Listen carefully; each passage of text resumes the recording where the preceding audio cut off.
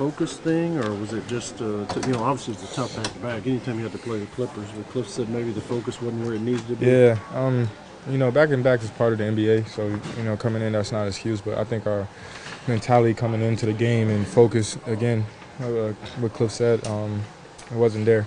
Um, start the game off and it hurt us. You know, they got out to the league, and at that point, you know, the energy wasn't there. You can just see it. You know, the energy on the floor wasn't right. So, um, something we definitely got to learn from. Uh, something that we're not known of, but you know, we got to nip it in the bud. We know it's tough, but you know, in times like that, we got to find a way to get a spark and get some energy.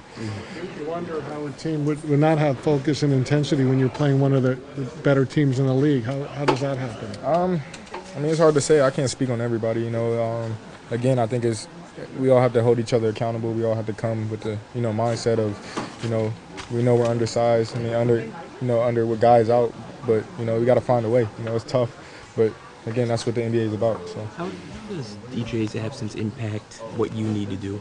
Um, I think it just, you know, being the only point guard, you know, you, I, I realized that, you know, I got to take care of the ball a little bit more. I can't have as many turnovers, you know, I got to get us into our sets, but also, you know, it's, it's not just about me, it's about my, our, the team, you know, everybody got to be be able to step up and, you know, play that role, but I, I believe in everybody. I think we're, we're capable of it. When MCW comes back, do you need to play any any differently? Um, no, I'm play the same game no matter who's on the floor. You know, DJ's there. You know, if he's not, my mindset's the same. Go and be aggressive, be a playmaker, and do whatever I can do to help the team win.